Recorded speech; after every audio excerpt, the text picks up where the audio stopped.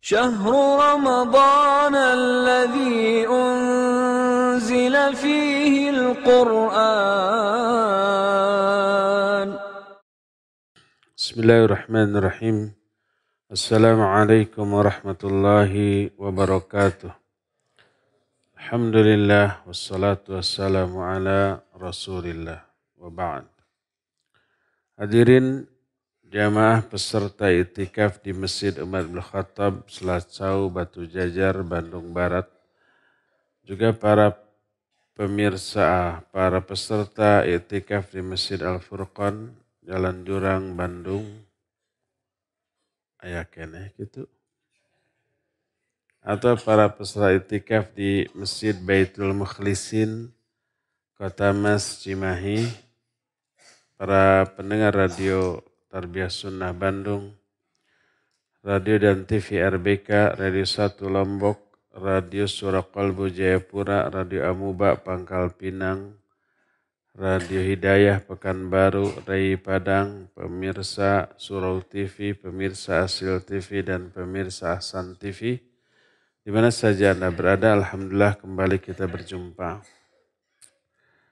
Tadi sudah diterangkan beberapa hadis tentang azab yang turun atau dosa dan maksiat yang menimbulkan beberapa kerugian di antaranya adalah azab ya di alam kubur di akhirat termasuk juga terhalangnya rizki termasuk juga bencana alam dan seterusnya. Salah satu yang mengerikan adalah dijadikannya pemimpin dari muslimin yang ahli maksiat, seorang pemimpin yang bagaimana, yang zalim, yang menyengsarakan rakyatnya. Dalam kitab Musnad dan Sunan dari Amr bin Murrah, ini berujung kepada Abdullah bin Masud dari bapaknya. Berkata Rasulullah wasallam, "Inna man kana qablakum kana idza amila al-amilu fihim bil khati'ah ja'ahu an-nahi ta'dhira." Fa idza kana al-ghaddu jalasahu wa wakalahu wa syarabahu. Kannahu lam yarahu ala khati'ah bil ams. فلما رأى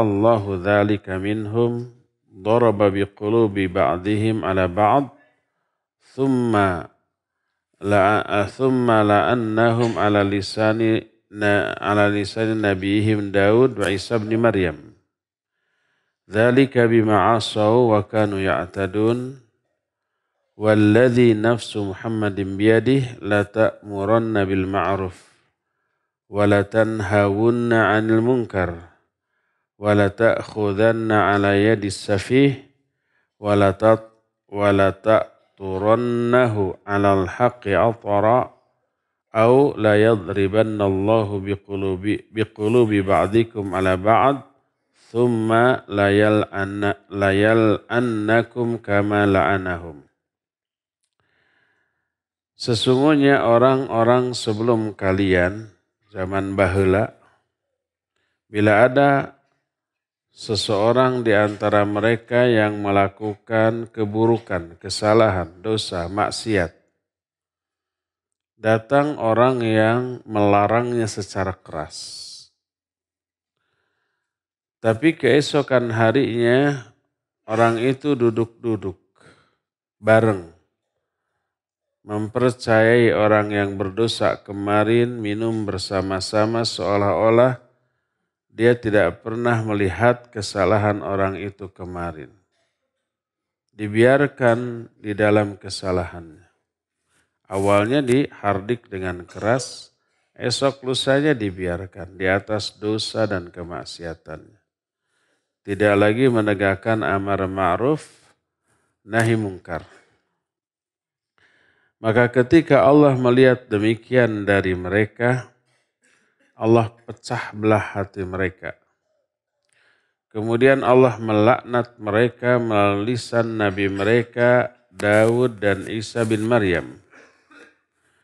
Yang demikian itu karena mereka maksiat dan mereka melampaui batas. Demi Allah, demi zat yang jiwa Muhammad berada dalam genggaman tangannya. Sungguh-sungguhlah kalian beramar ma'ruf. Sungguh-sungguhlah kalian bernahi munkar. Sungguh-sungguhlah kalian cegah perbuatan orang-orang bodoh.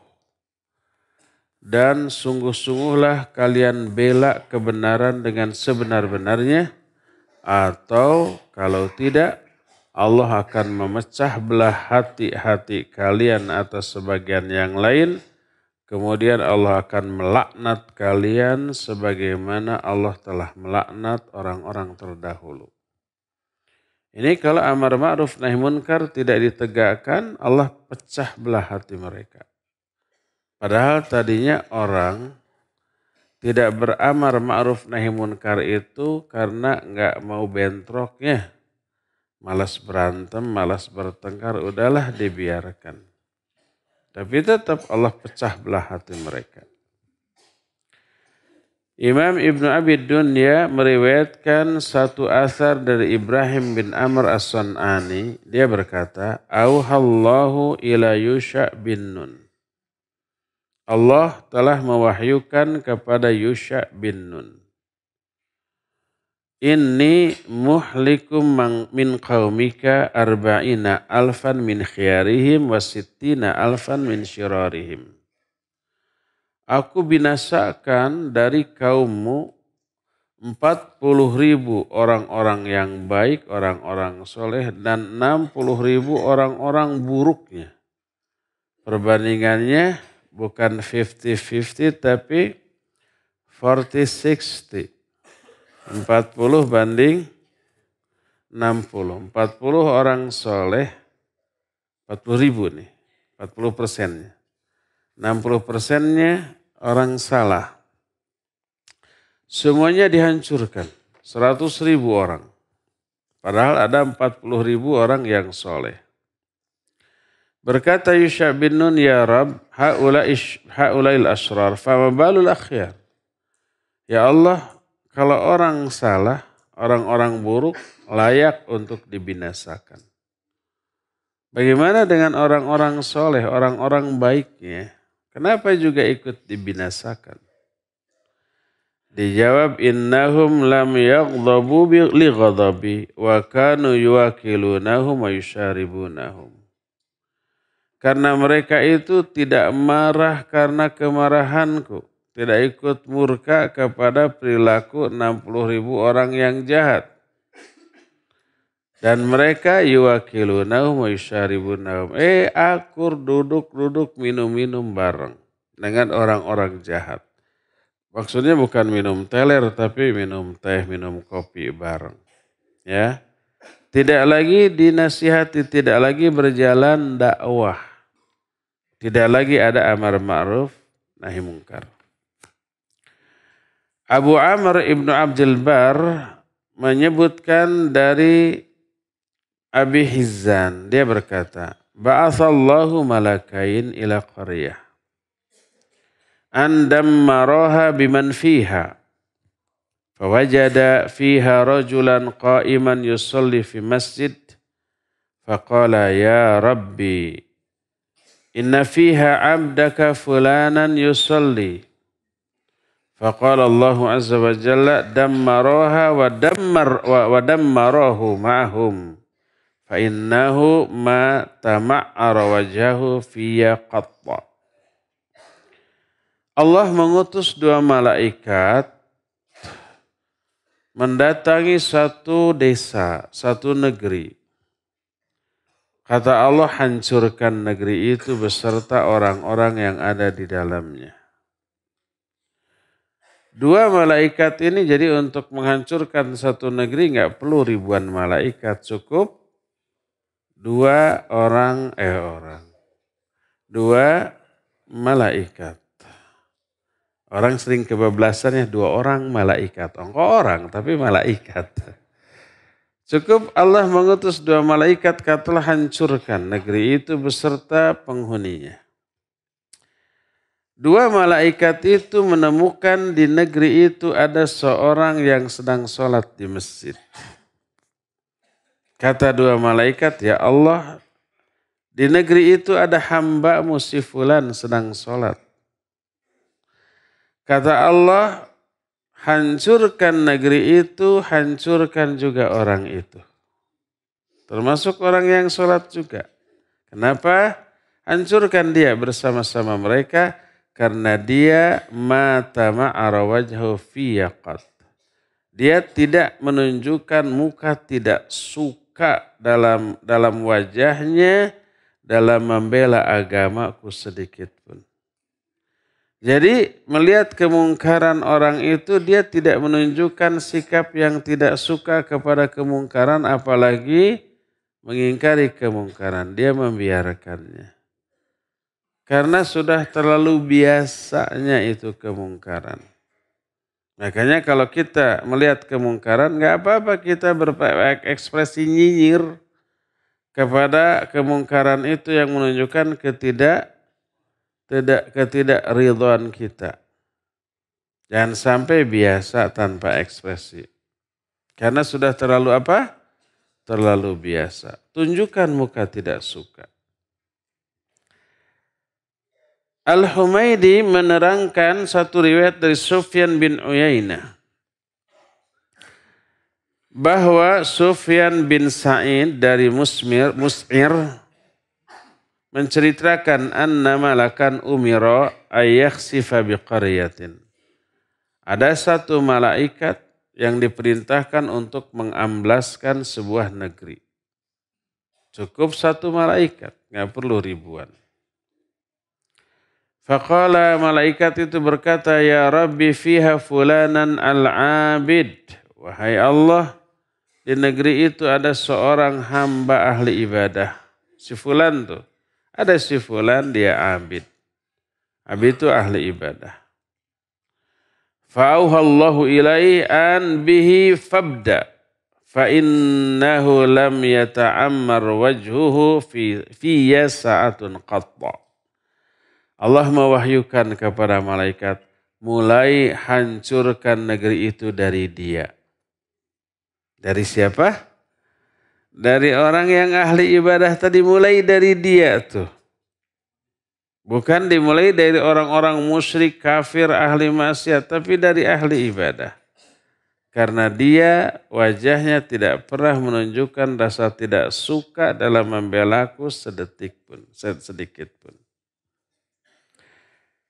Ibnu Abdi Dunya meriwayatkan dari Wahab bin Munabbih.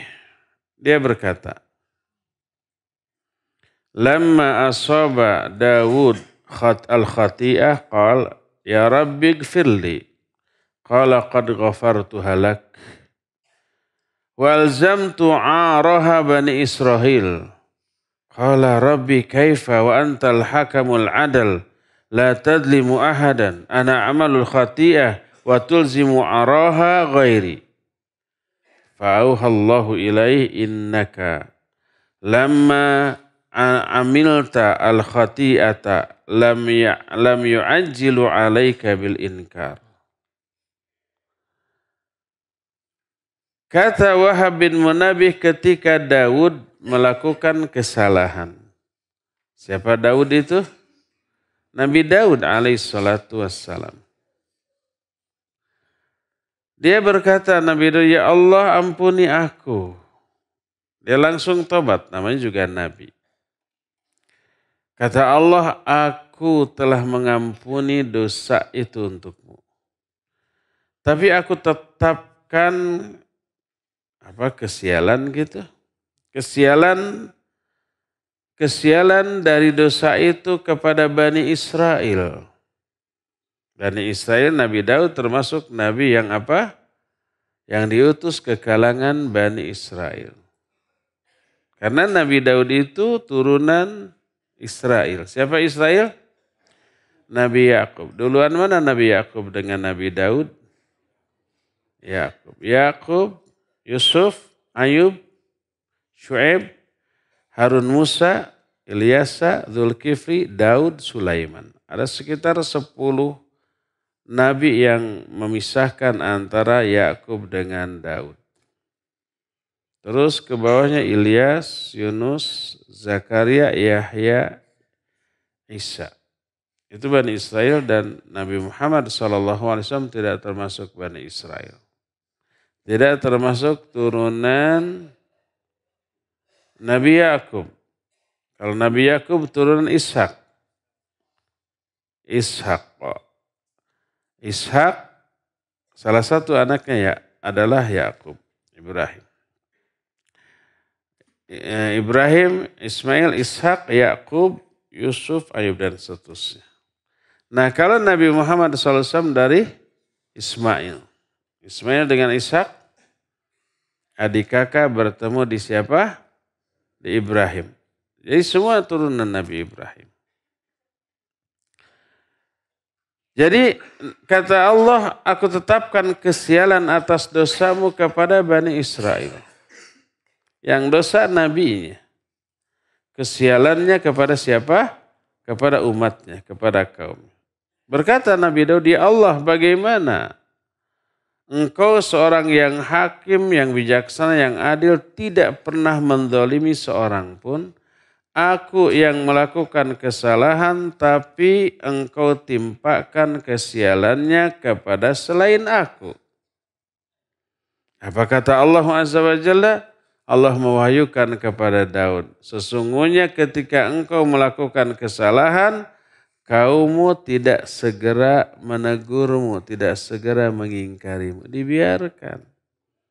Mentang-mentang pemimpinnya salah, antap gitu wegah untuk apa namanya me, mengoreksi.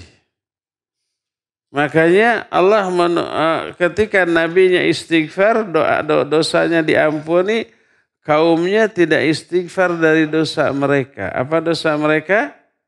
Tidak beramar ma'ruf nahi munkar kepada pemimpinnya. Pemimpinnya istighfar.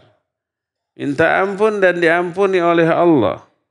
Rakyatnya dosanya membiarkan pemimpin berbuat salah, tidak istighfar, mereka yang kena getahnya. Jadi kalau pemimpin keliru salah jahat bermula dari kesalahan siapa? Rakyat, rakyatnya juga jauh dari agama. Allah azab mereka dengan pemimpin yang zalim. Imam Ibnu Abi Dunya menukil riwayat dari Anas bin Malik annahu dakhala ala Aisyata huwa wa rajulun akhar. Anas bin Malik masuk menemui Aisyah beserta seorang lelaki lain. Lalu sang lelaki ini berkata kepada Aisyah,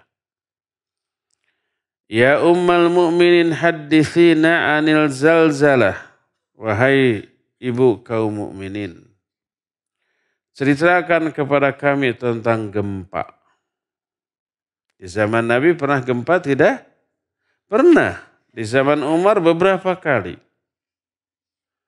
Di Madinah ya teteh, bukan Selat Sau.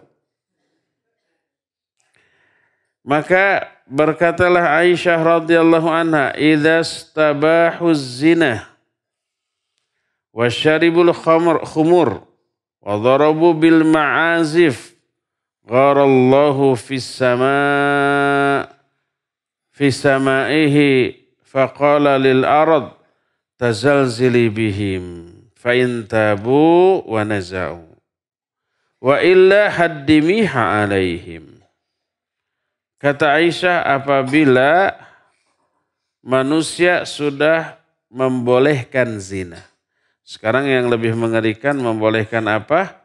LGBT yang lebih dahsyat daripada zina. Penguasanya melegalisir hal itu. Melokalisir hal itu. Melindunginya dengan aturan perda atau yang sejenisnya. Ada yang seperti itu? Ada. Bila sudah dibolehkan zina, sudah mereka juga sudah teler, sudah minum khamr. Mereka juga sudah menabuh alat-alat musik. Alat musik dilarang tidak? Enggak di negeri kita bukan dilarang. Ditabeh. Dibayar sangat. Rata-rata pemusik, penyanyi kaya apa banyak duit? Kaya dan banyak duit. Sekali manggung puluhan ratusan juta, ada yang miliaran? Ada, sekali manggung semiliar. Dua miliar. Waduh, guru mah sebulan ngajar tiap hari ya tisuk jedur napikan ke sore jeder. Dug hulu pet nyawa. Suku diyen hulu, hulu diyen suku. Sebulan berapa gajinya? Untuk meluruskan akhlak anak didiknya. Paling enggak di bawah 5 jutanya. Sebulan itu teh. Tapi sang perusak moral anak satu kali manggung dibayar ratusan juta bahkan miliaran. Ya pantas satu rusak moral anak-anak didik kita ya. Waliyahzubillah. Bila alat musik sudah ditabuh. Allah cemburu dan Allah di Allah di langitnya cemburu dengan hal itu. Kalau larangan Allah dilanggar, Allah cemburu. Karena hambanya lebih mementingkan yang lain daripada aturan Allah. Aturan Allahnya dilanggar. Menunjukkan ketiga poin ini haram. Berzina haram, mabuk haram, musik haram. Tapi nanti di akhir zaman ada yang menganggap boleh kepada ketiga hal itu. Nanti akan muncul di kalangan umatku di akhir zaman yang menghalalkan zina, menghalalkan khamar, menghalalkan sutra, dan menghalalkan alat-alat musik. Kalau yang menghalalkan zina mabuk mungkin sekarang belum dengarnya. Menghalalkan sutra ada? Ada sutra emas. Menghalalkan musik dan nyanyian yang ber, uh, orang itu disebut ustadz ada? Ada banyak. Nyanyi malah ustadznya. Kalau mereka berhujah musik halal boleh kok, nggak perlu dibantah. Oh benarlah sabda Rasul Shallallahu Alaihi Wasallam. Di akhir zaman nanti akan ada orang yang menghalalkan musik. Jangan dibantah lagi dengan dalil mual mempan, percuma. Cukup sodaka Rasul Shallallahu Alaihi Wasallam. Telah benarlah Rasul Sallallahu Alaihi Wasallam ketika beliau bersabda dalam hadisnya, kelak akan ada di kalangan umatku yang menghalalkan musik dan nyanyian. Sekarang ada ustaz yang menghalalkan musik nyanyian, ada yang nyanyi dan merasa ibadah dengan nyanyinya. Sampai peremelek, meremelek ketika menyanyikannya karena dihayati. Ini Islami kan bahasa Arab. Lo yang diharamkan oleh Al-Quran sunnah di zaman Nabi nyanyiannya pakai bahasa apa? Apa sih anjuran? Padagung, apa dangdutan? Syairnya apa? Bahasa Arab. Syairnya bahasa. Jangan mentang-mentang syairnya dengan bahasa Arab. Oh Islami. Enggak. Ya. Lalu Allah berfirman kepada bumi, tazal zilibihim, berguncanglah kamu untuk mereka. Bumi nurut, berguncang, terjadilah apa? Gempa. Kalau mereka tabu, mereka bertobat dan berhenti dari semuanya itu, berhentilah kamu. Jadi solusi untuk menghindari gempa gimana?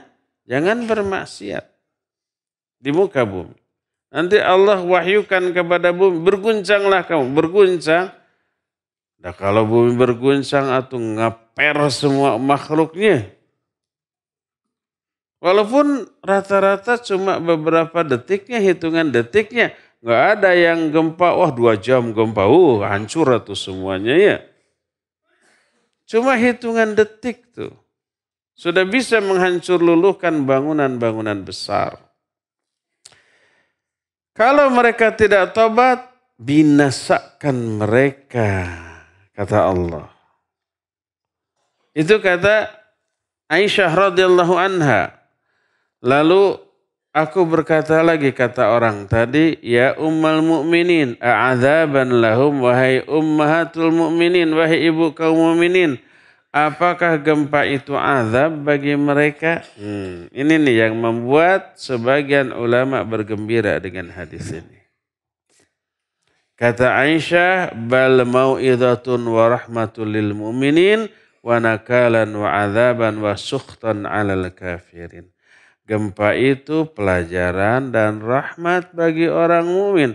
Orang mukmin akan introspeksi diri dengan gempa itu ini karena dosa, karena maksiat yang kita lakukan. Hayo tobat, tobat, tobat.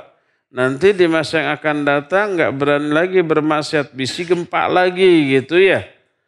Rahmat bagi mereka. Dengan gempa itu mereka menderita. Menderita kerugian materi atau imateri. Kadang-kadang jiwa. Ada orang mukmin yang mati karena gempa? Ada. Yang cacat karena gempa? Ada tertimpa reruntuhan atau yang sejenisnya, sampai cacat ada. Nah, termasuk pesantren-pesantren hancur. Tapi Allah Azza wa Jalla segera mengembalikan kondisi pesantren jauh lebih baik daripada sebelumnya. Itu adalah mau'idah dan rahmat. Dengan seluruh penderitaan akibat gempa, dosa orang-orang mukmin terhapus. Disucikan, dibersihkan dengan gempa itu. Wa nakalan wa azaban wa sukhtan al kafirin. Tapi gempa merupakan sanksi, azab dan bentuk kemurkaan Allah bagi orang-orang kafir. Orang kafir sedikit pun nggak bisa ngambil manfaat dari gempa itu. Mereka tetap dalam kekafiran tambah kafir. Oh ini penghuni ya, Laut Kidul ngamuk, dar musyrik. Ya dengan melarungkan sesajian sejajan eh itu tambah-tambah. Orang kafir, orang musyrik, orang bodoh tidak bisa mengambil pelajaran secara benar dari gempa itu. Jadi bagi orang mumin itu pelajaran dan rahmat. Berkata Anas, yang saat itu kan Anas ikut bertanya kepada Aisyah, ma sami'tu hadithan ba'da Rasulillah sallallahu alaihi wasallam ana asyadu farhan bihi minni bihadzal hadis. Tidak pernah aku mendengar satu hadis selain dari Rasul sallallahu alaihi wasallam yang aku yang lebih membahagiakan aku dibanding hadis ini. Jadi semua musibah itu pelajaran dan rahmat bagi seorang mukmin. Gak bisa atau gak akan seorang mumin terprosok dua kali ke satu lubang yang sama. Cukup sekali, setelah itu dia bisa menghindari. Ibnu Abi Dunya menceritakan sebuah hadis yang mursal. Tapi hadis ini diwasolkan atau disambungkan oleh Al-Hakim dalam kitab Al-Mustadrak. Berkata Nabi Ali salatu wassalam, uh, anna annal arda tazalzalat ala ahdi Rasulillah sallallahu alaihi wasallam fa wada'a yadahu 'alaiha. Pernah bumi berguncang di zaman Rasul sallallahu alaihi wasallam. Peristiwa apa ini? Gempa. Pernah Madinah berguncang, gempa. Lalu Nabi SAW meletakkan tangannya di atas tanah. Sambil berkata, Uskuni fa'innahu lam ya'ti laka ba'd. Tenanglah kamu, belum datang saatnya bagi kamu untuk berguncang. Thumaltafata ila ashabihi. Kemudian Nabi berpaling kepada para sahabat apa berpaling. Ngareret ke para sahabat. Lalu Nabi me, meleret, me, melirik, memandang kepada para sahabatnya. Sambil berkata, Inna rabbakum laysta tibukum fa'tibu. Sesungguhnya Allah sedang menegur kalian. Ambil pelajaran dari teguran ini. Thumma tazalzala bin nas ala ahdi Umar ibn Khattab radhiyallahu an. Jadi setelah Nabi SAW berbicara begitu, bumi pun diam. Para sahabat langsung mengambil pelajaran bertobat atas dosa dan kesalahan. Lalu suatu saat di zaman Umar ibn Khattab kembali Madinah berguncang. Di zaman Umar bin Khattab radhiyallahu an menjadi khalifah. Saat itu Nabi di mana? Sudah di Ar-Rafiqul A'la, sudah meninggal. Sudah di alam kubur. Lalu berkatalah Umar ayuhan nas makanat hadhil zalzalah illa an syai'in ahdathumuhu. Hmm. Walladhi nafsi biyadih lain adat la usakinukum fiha abada. Tuh. Kata Umar, wahai manusia, tidaklah gempa ini terjadi kecuali sesuatu yang kalian ada-adakan dalam agama. Pasti nih kalian sudah mengada-adakan kebidahan nih. Tapi susu lumputan. Apa susu lumputan teh? Demit. Sembunyi-sembunyi dah kalau terang-terangan pasti di, dilarang.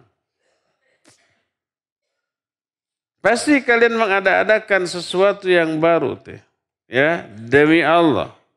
Demi zat yang jiwaku berada dalam genggaman tangannya, kalau ini terjadi lagi, aku tidak akan tinggal lagi bersama kamu di tempat ini selama-lamanya. Jadi salah satu yang mengundang terjadinya gempa adalah kebidahan dalam beragama. Dalam manaqib Umar susunan Imam Ibnu Abi Dunya dikatakan annal arda tazalzalat ala ahdi Umar fadaraba yadahu alaiha bahwa bumi pernah berguncang di zaman Umar.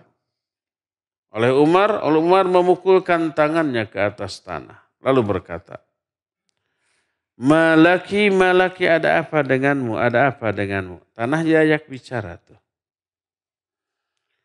Terus amma innaha laukanatil qiyamah haddasat akhbaroha.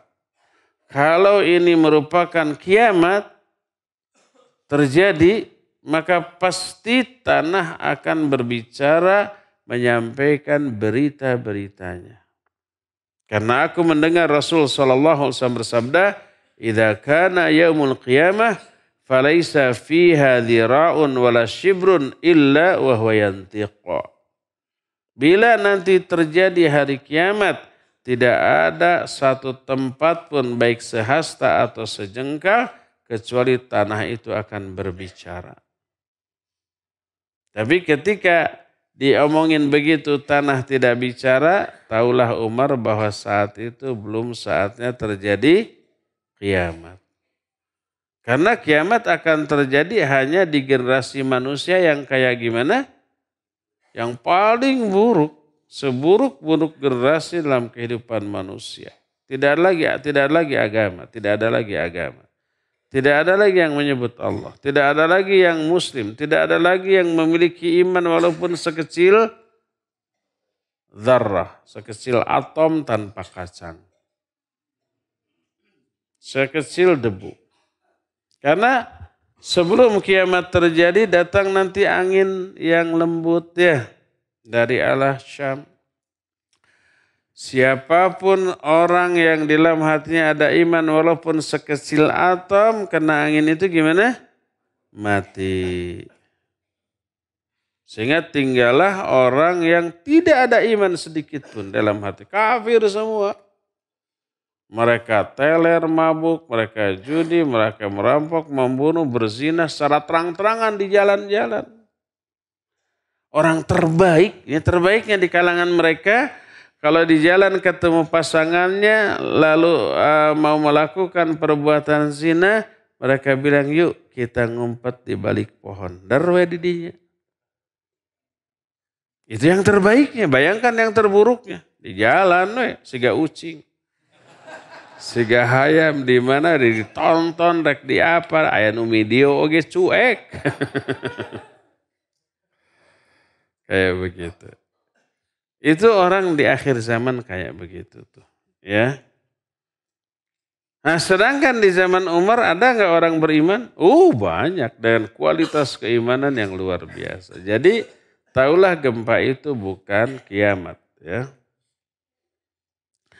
Imam Ahmad menukil satu riwayat dari Sofia berkata Sofia. Siapa Sofia?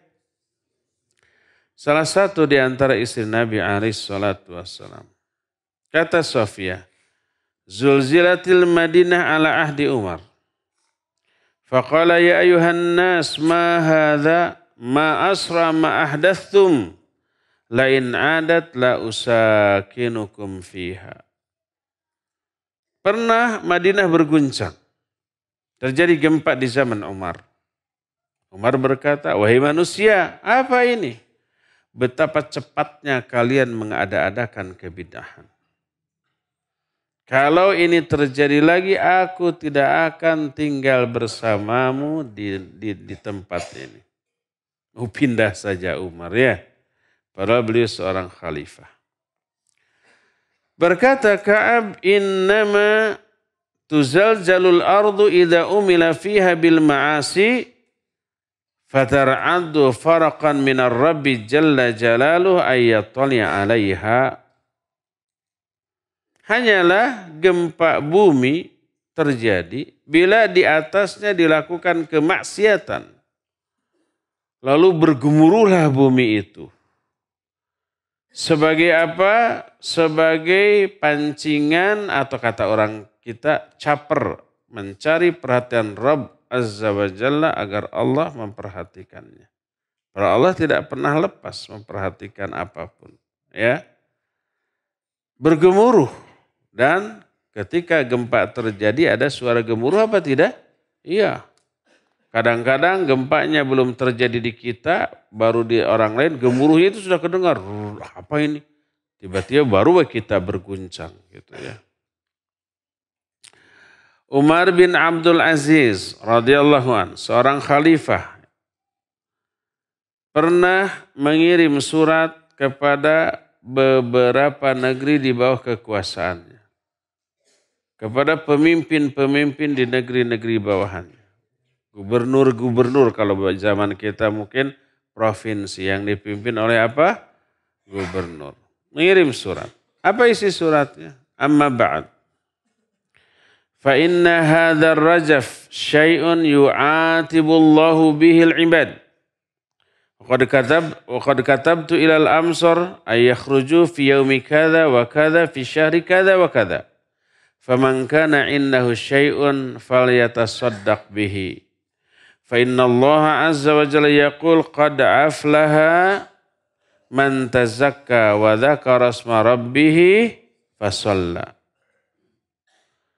man tazakka wa dzakara asma rabbih fasalla. Wa qulu kama qala Adam qala rabbana zalamna anfusana wa illam taghfir lana wa tarhamna lanakunanna minal khasirin. Wa qulu kama qala Nuh wa illa tagfirli wa tarhamni akun minal khasirin. Wa qulu kama qala Yunus la ilaha illa anta subhanaka inni kuntu minal zalimin. Kata Umar, Umar siapa? Umar bin Abdul Aziz. Sesungguhnya gempa ini sesuatu teguran Allah atas hamba-hambanya. Jadi ketika terjadi gempa di beberapa negeri bawahannya Umar bin Abdul Aziz mengirim surat. Memberi nasihat wasiat. Gempa ini adalah teguran Allah bagi hamba-hambanya. Aku telah tulis ke beberapa negeri agar mereka keluar di hari anu, di bulan anu. Siapa orang yang memiliki harta di tangannya, hendaklah dia bersodakoh dengan harta itu. Karena Allah berfirman, Qad aflaha man tazakka. Sungguh berbahagia orang yang tazakka. Kita pernah membahas ayat mana ayat ini ketika membahas kitab Ighathatul Lahafan tahun lalu. Makna man tazakka ada dua. Bisa mensucikan diri dengan cara bertobat dari dosa, bisa mengeluarkan zakat. Karena mengeluarkan zakat berarti mensucikan diri dan mensucikan apa? Hartanya. Maka disuruh sodako. Karena Allah berfirman, sungguh berbahagia orang yang berzakat. Bersedekah dengan hartanya. Wadakar asma rabbihi fasolla dan menyebut nama Rabbnya lalu sholat.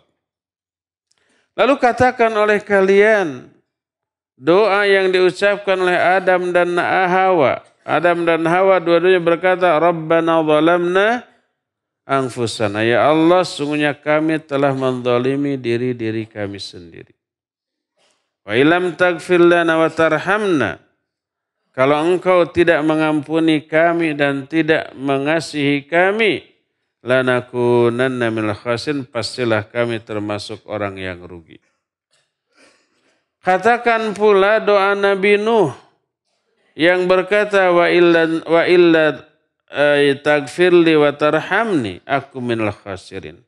Kalau engkau tidak mengampuni aku dan tidak merahmati aku, pasti aku rugi. Katakan pula doa Nabi Yunus. Ketika di mana? Dalam perut ikan. Ikan nun. Maka disebut dengan Nabi Dhun, Dhun Nun. Apa yang dikatakan oleh Nabi Yunus? La ilaha illa anta. Tidak ada sesembahan yang hak selain engkau. Subhanaka maha suci engkau inni kuntu minal zalimin. Sesungguhnya aku termasuk orang yang zalim. Jadi tobat dengan mengakui kezaliman diri sendiri. Tobat kepada Allah. Ungkapkan bahwa kita sudah zalim kepada Allah. Doa yang diajarkan oleh Nabi SAW kepada Abu Bakar As-Siddiq dalam salat. Allahumma inni zalamtu nafsi zulman kathira wa la yaghfiru dhunuba illa anta faghfirli maghfiratan min indik innaka antal ghafur rahim Ya Allah sungguhnya aku telah zalim kepada diriku sendiri dengan kezoliman yang banyak. Ini zalam tu nafsi zulman kathira. Faghfirli maghfiratan min indik. Ampuni aku atau berikan aku ampunan dengan ampunan yang berasal darimu. Warhamni. Dan berikan rahmat kepadaku. Itu doa yang dibaca ketika dapat musibah apa pun musibahnya dan dalam kasus ini musibahnya apa? Gempa. Coba tobat. Rabbana dhalamna anfusana seperti doa siapa? Adam Hawa atau doa Nabi Nuh atau doa Nabi Yunus yang barusan ya. Imam Ahmad meriwayatkan hadis yang bersumber dari Ibnu Umar radhiyallahu anhu. Dia berkata, aku mendengar Rasul sallallahu alaihi wasallam bersabda, "Idza dhanna an-nas bid-dinar wad-dirham wa tabaya'u bil-'inah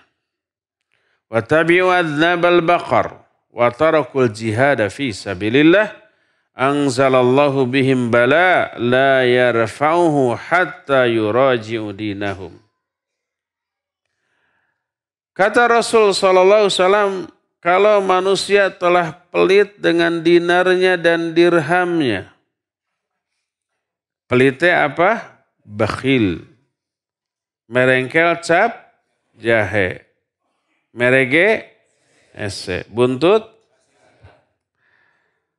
Tapi saya nggak yakin orang yang buntut kasiran itu pelit. Sebab saya ada banyak kawan buntut kasiran. Uh tapi dermawan. Kalau saya ajak makan dia saya mau traktir dia yuk makan. Hayu buntut kasiran. Kelihatan panjang. Tahu kasir Kasir itu jangkrik tapi lebih lebih besar ekornya itu seperti rambut yang uh, kecil. Nah, jadi rambut belakang yang kecil itu disebut dengan sebutan buntut kasir. Pas saya mau bayar, kata kasir, sudah pak, siapa tuh yang buntut kasiran? Dermawan dia dan nggak mau di di, diketahui orang bahwa dia mentraktir semuanya gitu ya. Peribahasa itu nggak tepat. Banyak yang pelit tapi tidak buntut kasiran. Kalau manusia telah pelit dengan dinar dan dirhamnya. Watabaya'u bil inah lalu mereka telah melakukan jual beli dengan sistem inah. Jual beli yang mengandung unsur riba apa pun bentuknya. Sekarang banyak ya jual beli eh, yang mengandung unsur riba. Kemarin saya ada pertanyaan lewat WA dari seorang seseorang, entah ibu entah bapak namanya nggak muncul. Panjang tentang membeli emas di anu gitu, nggak saya sebutkan karena ini perusahaan.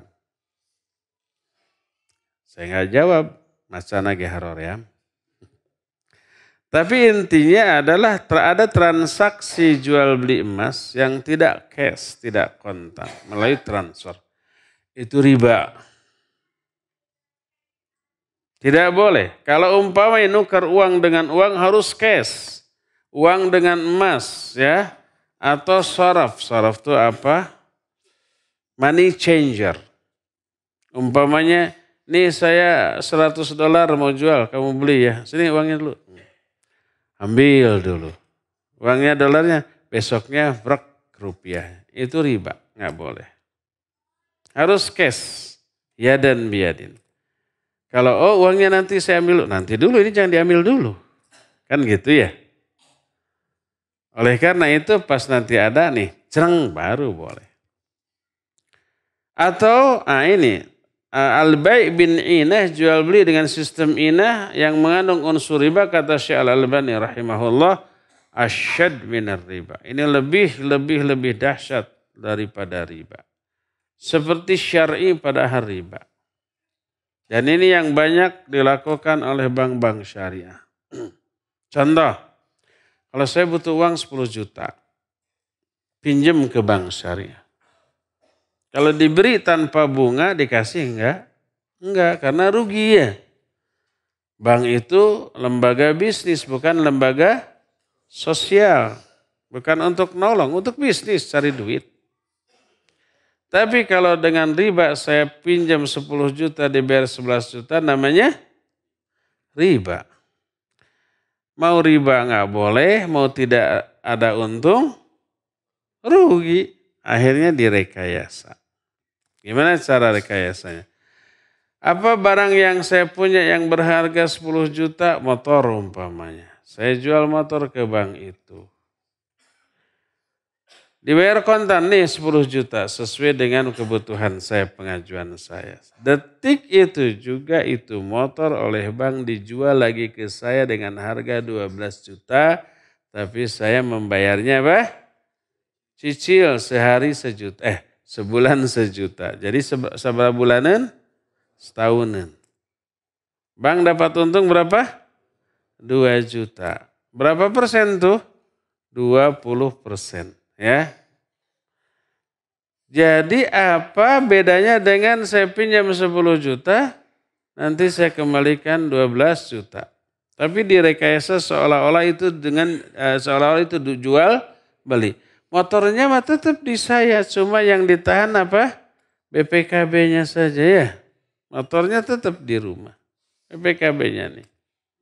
Dilihat fisiknya motornya betul layak 10 juta oke. Okay. Mungkin harga motor ini 15 juta. Jadi 10 juta bisa masuk.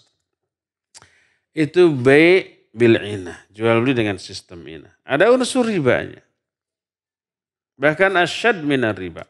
Orang merasa tidak berdosa enjoy. Padahal itu dosa. Bila manusia telah pelit dengan dinar dan dirhamnya dan telah melakukan jual beli dengan sistem ina.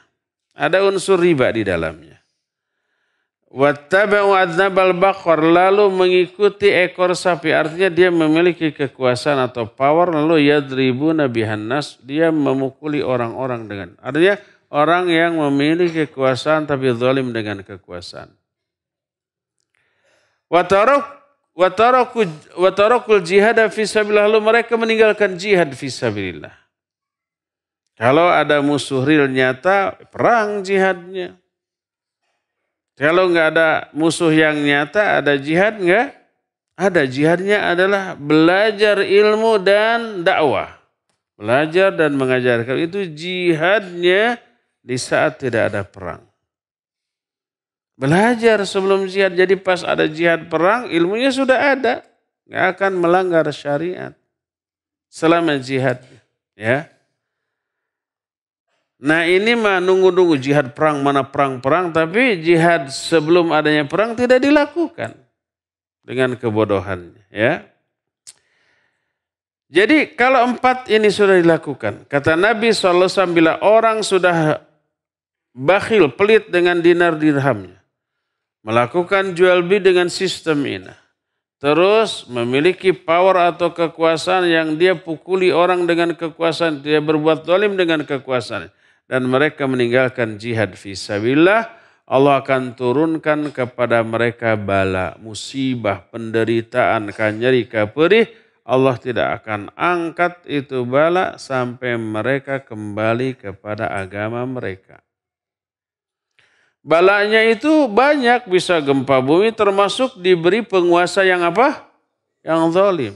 Tetap penguasa itu, yang zalim itu menguasai kaum muslimin selama mereka jauh dari agama. Sampai mereka kembali ke agama. Untuk merubah sistem yang jahat dengan pemimpin yang jahat adalah dakwah. Agar kaum muslimin rakyat yang dipimpin kembali ke agama mereka. Ini teori syar'i. Nanti ada ada apa namanya? ada nas hadis yang menjelaskan secara lebih detail dan tegas bahwa hati-hati para raja itu berada dalam genggaman tangan Allah. Dikala rakyat durhaka jauh dari aturan Allah, Allah gerakan hati para raja untuk menzolimi mereka, menyengsarakan mereka. Dan itu azab. Ada nas hadisnya nanti. Ya. Jadi Solusi untuk bisa memperoleh pemimpin yang baik dan sistem kehidupan bernegara yang baik adalah dakwah. Dakwahi rakyat, kembalikan mereka kepada agama, insya Allah Allah merubah. Kata mereka dari mana jalannya? Jalannya gampang.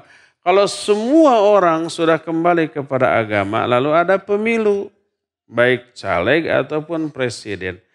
Kalau rakyatnya mayoritas sudah kembali kepada agama. Yang dipilih yang kayak bagaimana? Yang agamis, yang kira-kira akan membawa aspirasi umat beragama. Ya akan dipilih orang kafir, orang durhaka, orang pengusaha-pengusaha yang jahat, yang memiliki perusahaan yang haram, baik rokok ataupun minuman keras dan seterusnya. Ya, ya akan mungkin dipilih yang kayak begitu. Akhirnya yang duduk di parlemen orang-orang yang agamis, yang religius. Itu yang merubah peraturan, merubah eh, undang-undang uh, dan seterusnya kan. Terus pilpres. Mana calon anu agama, agamana bagus dan orang di belakang para pendukungnya partai yang juga islami. Kadang ada pribadi ditunjukkan bagus tapi partai di belakangnya bejat-bejat semua Almar'u ala dini khalili. Itu hanya jadi alat. Alat backing-backing di belakangnya. Dia sendiri tidak memiliki kemampuan, maka gampang diaturnya. Gak memiliki kemampuan, gak memiliki pendirian, gampang diaturnya. Tapi kalau yang berpendirian tegas, cerdas, susah diatur, wah gak akan didukung yang kayak begitu oleh baking bejat tadi. Jadi begitulah datangnya pemimpin yang baik. Lahir dari rakyat yang agamis, yang religius. Yang kembali kepada agama. Kata Allah SWT, kata Rasul SAW, Allah tidak akan angkat itu bala sampai mereka kembali kepada agama mereka. Salah satu bala yang Allah turunkan kepada orang yang jauh dari agama adalah diutusnya pemimpin yang zalim yang menyengsarakan mereka. Riwayat lain dari Ibnu Umar radhiyallahu anhu, huma. Kata Ibnu Umar, laqad ra'aituna wa ma'ahadun ahaqqu bidinarihi wa dirhamihi min akhihil muslim. Sungguh aku sudah melihat tidak ada seorang pun yang lebih berhak daripada dinarnya atau dirhamnya dibandingkan saudaranya sama muslim. Ada masaknya, kata Ibnu Umar, aku melihat di zaman Khulafaur Rasyidin, orang itu merasa hartanya lebih layak untuk diberikan kepada orang lain daripada dinikmati oleh sendiri. Itu karena solehnya. Lalu kata Ibnu Umar, aku mendengar Rasul SAW bersabda, Ida nas bidinar wa dirham. Kalau manusia sudah pelit dengan dinar dan dirhamnya. Watabaya'u bil inah. Dan melakukan sistem jual beli dengan inah Watarakul jihada fi sabilillah. Mereka pun sudah meninggalkan jihad fi sabilillah. Wa akhadu adnabal bakar. Mereka mengambil ekor-ekor sapi. Dalam riwayat lain, yadribu nabi hannas. Mereka memukuli orang dengan ekor sapi itu. Dengan cameti, dengan pecut. Itu power, itu kekuasaan anzalallahu alaihi minas sama'i bala'an ya la fala yarfa'uhu anhum hatta yuraji'u dinahum. Allah turunkan kepada mereka bala dari langit dan Allah tidak akan mengangkat bala itu dari kehidupan mereka sampai mereka kembali kepada agama mereka. Berkata Al-Hasan, innal fitnata wallahi ma hiya illa uqubatan minallahi ala nas. Sesungguhnya fitnah demi Allah. Fitnah itu tiada lain. Kecuali itu azab dari Allah bagi manusia. Kenapa manusia diazab? Ya pasti karena dosa-dosa mereka. Ya. Wa nadhara ba'du anbiya'i Bani Israel ila ma yasna'u bihim Bukhs Nasr. Ini nama orang penguasa yang jahat. Faqala bima kasabat aidina sallatta alaina man la ya'rifuka wa la yarhamuna. Sebagian nabi-nabi Bani Israel memandang ya bahwa memandang Bani Israel eh, penderitaan yang mereka alami karena penguasa yang jahat namanya Bukh Nasr. Maka dia berkata, bima kasabat aidina sallatta alaina man la ya'rifuka wa la yarhamuna. Kata Nabi tersebut, ya Allah, karena dosa-dosa yang dilakukan oleh tangan-tangan kami, engkau kuasakan kepada kami orang yang tidak mengenalmu dan tidak mengasihi kami.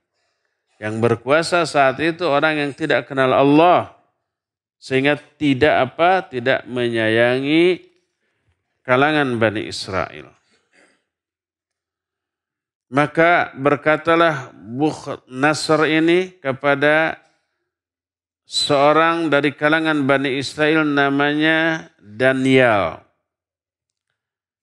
Kata si penguasa yang zalim, Malladhi sallatani ala qaumik, apa yang menjadi penyebab aku menguasai kaummu? Dijawab Daniel menurut sebagian ulama salah satu nabi yang diutus ke Bani Israel. Dia menjawab, Idhamu khati'atika wa dhulmu qaimi anfusahum. Penyebab kedua, yaitu besarnya kadar kejahatanmu dan kezoliman kaumku kepada sesama mereka. Karena kaumnya saling mendolimi satu sama lain, Allah azab dengan saya dikirimnya penguasa zalim yang menyengsarakan mereka. Ibnu Abi Dunya meriwayatkan satu riwayat dari Hudzaifah, Nabi SAW bersabda, Inna Allah idha arada bil ibadi naqmatan amatal atfal wa a'maqa wa aqama arhaman nisa fatanzilun naqmah wa laysa fihim marhum.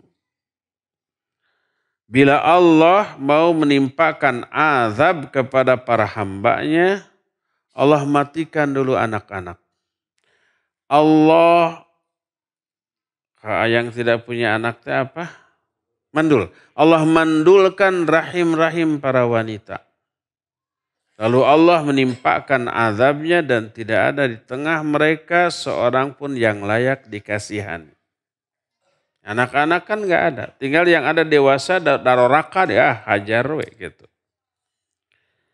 Malik bin Dinar berkata, Qaratu fil hikmah. Aku membaca satu kisah hikmah dalam sebuah kitab para ulama. Allah berfirman, Anallah malikul muluk Qulubul muluk biyadi. Faman ata'ani ja'altuhum alaihi rahmah. Wa man asani ja'altuhum alaihi niqmah. Fala tusghilu anfusakum bisabil muluk. Walakin tubu ilayya u'attifuhum alaihi alaikum. Ini, ini, ini, ini kunci nih. Bagaimana agar kita memperoleh pemimpin yang baik, penguasa yang baik. Allah berfirman, Akulah Allah Raja segala Raja. Raja di Raja. Hati-hati para raja berada di tanganku. Siapa yang merubah, membolak-balikan hati orang? Allah, termasuk hati para para raja. Karena para raja juga orang apa manusia? Orang dan manusia. Kecuali di hutan. Raja hutan siapa? Singa. Singa. Singa apa orang hutan? Kalau orang hutan dengan singa berantem siapa yang kalah? Wallahu a'lam. Tapi kalau singa dengan kebo aja satu lawan satu kalah singa tuh. Menang tuh kalau keroyokan tuh. Cenah. Hati para raja berada di tanganku. Aku bolak-balikan hati itu.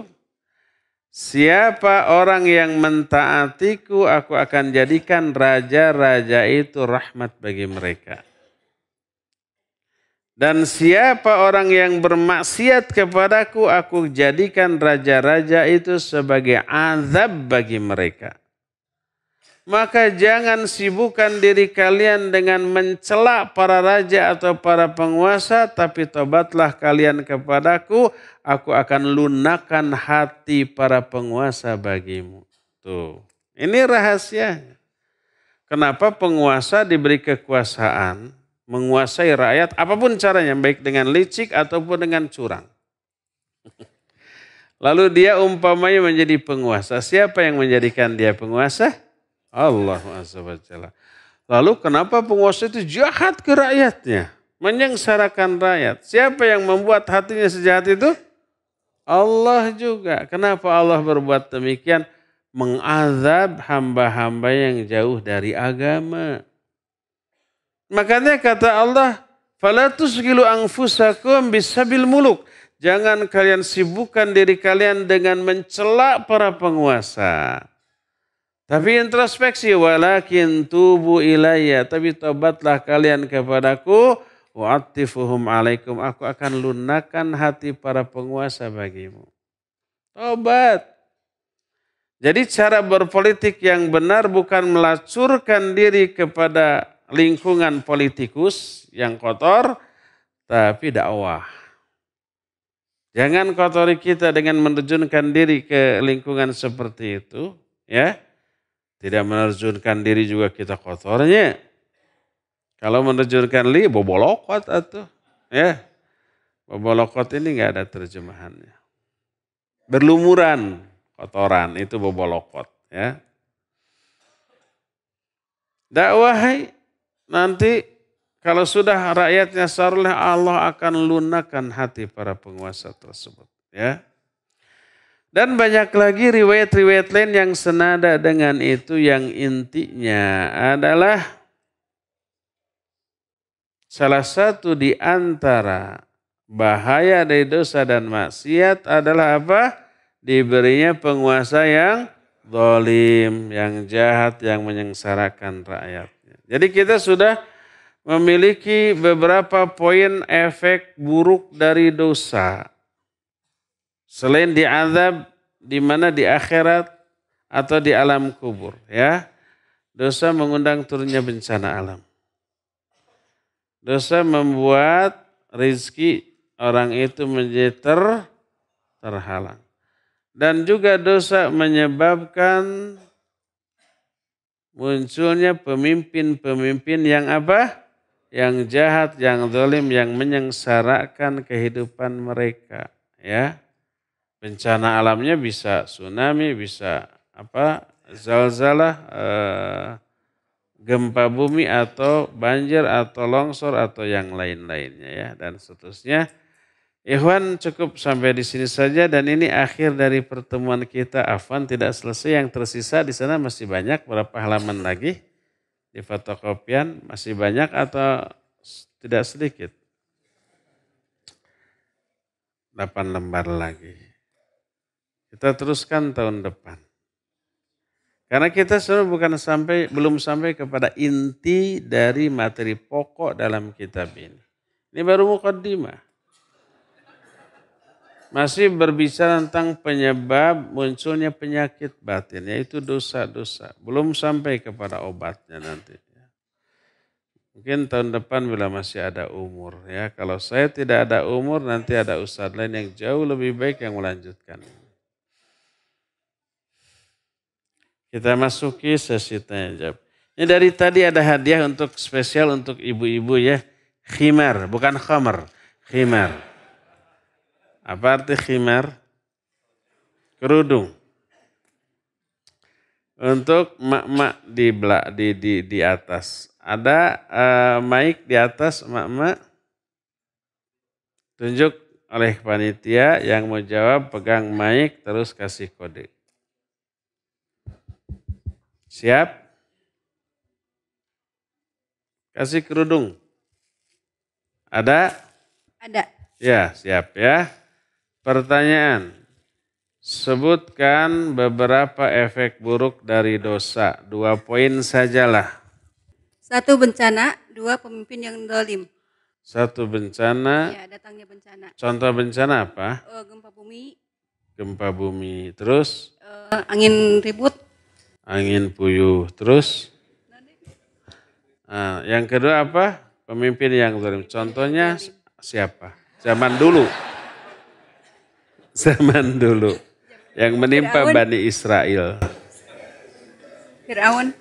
Fir'aun, ya. Fir'aun, ya. Ada backing konglomerat yang membackingi semua kejahatan Fir'aun saat itu. Siapa? Siapa? I Ahwat. Yang tadi ngejawab siapa? Kaya raya gitu ya. Korun? Garut? Korun, korun. Korun. Korun. Dihukumnya Fir'aun digimanakan di dunia? Ditenggelamkan di laut. Hmm? Ditenggelamkan di laut. Laut mana? Laut merah. Laut merah. Airnya merah tidak? Tidak. tidak. Kalau korun di gimana? Ditenggelamkan. Ditenggelamkan? Ya. Ke laut juga sama Firaun gitu? Oh korun, korun di, dibenamkan di bumi. Dibenamkan. Di bumi mana? Di buminya tempatnya dia tinggal. Alamatnya di mana dia? Mesir. Di Mesir ya. Ya. Baru satu udah dua. Satu, satu lagi. Ahwat satu lagi. Siap? Ya, ada. Ada. Baik. Ada nabi namanya Israel. Nama lain dari Nabi Israel siapa? Yakub. Ya, siapa anak Yakub? Uh, Ismail. Hmm. Pamannya Ismail. Anaknya? Is Ishak. Itu bapaknya. Pertanyaannya siapa anak Yakub? Bukan Yakub anak siapa? Ayub, Nabi Ayub. Iya gitu. Eh, Yus, oh, Yusuf. Itu yang nah, apa namanya? Kasepna luar Yusuf, biasa. Yusuf, Nabi Yusuf. Nabi Yusuf. Ya, barakallahu ya. Nanti kasih ya. Ustaz apa benar pandangan mata saat tahiyat harus ke telunjuk? Iya benar. Jadi selama sholat pandangan mata ke tempat sujud kecuali waktu tahiyat ke telunjuk. Dikatakan oleh Wail bin Hujir, oleh oleh Wail bin Hujir ketika Nabi Thumma asyara bi usbi sababah faro'aituha yuharriqo yad'u biha wala yujawizu basaruhu isyaratahu. Aku melihat beliau e, berisyarat dengan telunjuknya, aku melihat beliau menggerak-gerakannya dan berdoa dengannya dan pandangan matanya tak pernah lepas dari telunjuknya. Jadi satu-satunya pandangan mata yang tidak ke tempat sujud hanya ketika tahiyat baik awal ataupun akhir. Jika ketika akan sholat pakaian terkena najis, apakah harus diganti atau cukup kita cuci, dibersihkan pakaiannya? Boleh dua-duanya, diganti boleh, dicuci dulu terus pakai boleh. Jibrug. Kalau umpah kita tahu bayang najis itu di bagian kalau ikhwan umpah kaki ya. Oh ada tuh. Cukup dibersihkan, digilas sama air, basuh meesan eh, kakinya ya, terus dipakai salat boleh. Kalau sudah hilang najisnya ya. Tapi itu tidak dianjurkan nanti karpetnya basah dan kotornya. Ganti aja lah kalau ada ganti. Terkadang tidak memungkinkan diganti. Ah, kalau tidak memungkinkan diganti, dicuci saja.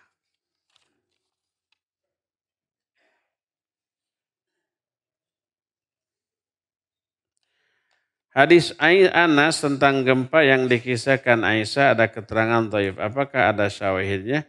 Semua yang tadi diceritakan memang riwayatnya dhaif. Di dalam hasyiahnya, hasyiah itu apanya? Eh, catatan kakinya di bawah, footnote, nah footnote. Itu memang ada keterangan dhaif. Saya tidak jelaskan karena di setiap fotokopian kitab antum ada. Jadi tahu. Tapi kenapa di, dikemukakan? Boleh nggak menyampaikan hadis dhaif? Boleh dengan dua syarat. Syarat pertama diterangkan kedhaifannya. Dan tadi sudah di footnote-nya sudah diterangkan kedhaifannya. Yang keduanya tidak menjadi dalil pokok lahirnya sebuah syariat atau amalan. Itu hanya takhwif atau tarhib dan targhib dibolehkan. Targhib itu ngabibita, memberi motivasi, memberi stimulan, memberikan dorongan untuk beramal, beribadah, tobat, amal soleh, atau menakut-nakuti. Dibolehkan. Makanya para ulama banyak menyampaikan hadis doif dalam rangka itu. Yang tidak boleh adalah menjadikan hadis doif sebagai dalil pokok untuk mengamalkan satu amalan yang tidak disyariatkan. Ya, tapi dalam rangka fadhailul a'mal, umpam menjelaskan e, keutamaan sebuah amalan yang sudah disyariatkan, boleh. Contoh tahajud. Disyariatkan apa tidak? Syariatkan oleh Quran dan hadis. Lalu ada hadis naif yang menjelaskan keutamaan tahajud. Siapa yang tahajud 40 malam berturut-turut, firasatnya tidak akan salah. Hadis itu. Tapi boleh dipakai karena tidak melahirkan amalan baru dalam syariat. Hanya memotivasi orang untuk tahajud dan tahajud amalan yang sudah disyariat oleh Quran dan hadis yang so. Itu yang disebut hadis dhaif boleh dipakai untuk fadhailul amal. Maksudnya menjelaskan keutamaan suatu amal yang sudah disyariatkan. Adapun menjadikan hadis dhaif sebagai dalil pokok untuk melahirkan satu amalan baru yang tidak disyariatkan maka tidak boleh ya. Termasuk untuk targib dan tarhib seperti tadi itu boleh. Silakan Muzain terakhir ya, ya. Ini ada pertanyaan dari Ibu Yeti di Malong Green. Bismillah Ustadz. Bagaimana kalau kita setembok sama orang rentenir kafir? Suka merasa takut azab. Apakah kita harus berdoa semoga dia dijauhkan atau pindah atau harus bagaimana Ustadz? Saya. Syukran jazakallah khair. Wah, jazakallah khair. Hal terbaik beli rumahnya. dibeli oleh kita jadikan tempat ngaji, tempat kajian atau kantor TK, ATP atau kantor dakwah atau diwakafkan. Ke YTS ini saya udah beli ini rentenir nih, tapi saya sih sudah banyak rumah ini mubazir silakan. Itu yang paling bagus ya. Bertetangga orang jahat memang mengerikan. Kalau umpamanya azab Allah turun, kita ada di sana, kita terkena apa tidak? Terkena.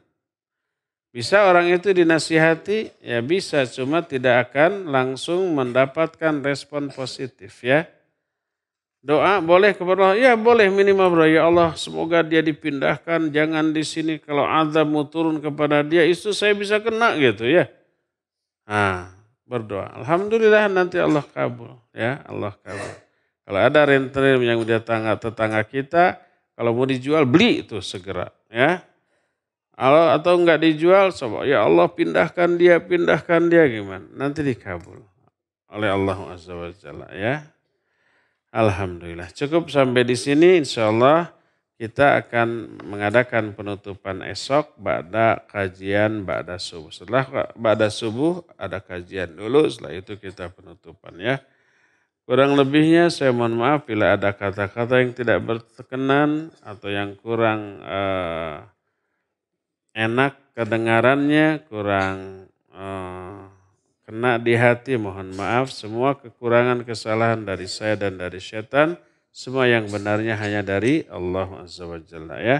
Subhanakallahum bihamdik, asyhadu an la ilaha illa anta, Astaghfiruka wa atubu ilaik walhamdulillahi rabbil alamin. Wassalamualaikum warahmatullahi wabarakatuh.